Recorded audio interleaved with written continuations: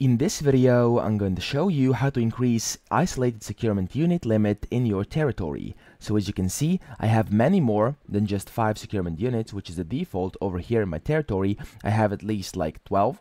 So I'm going to show you how to do this and it's actually very very simple.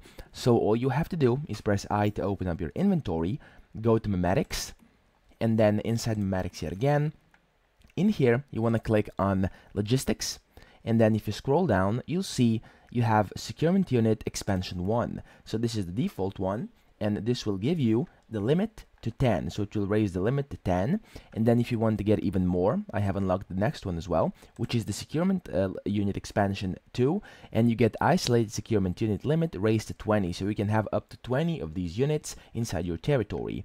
Now as you can see I've already unlocked these. They cost these um, meme points and that energy link. And yeah that's pretty much it. You simply have to unlock that and then you can come back to your territory. And then once you try placing down these units there will no longer be the message telling you there's a maximum amount of these inside your territory.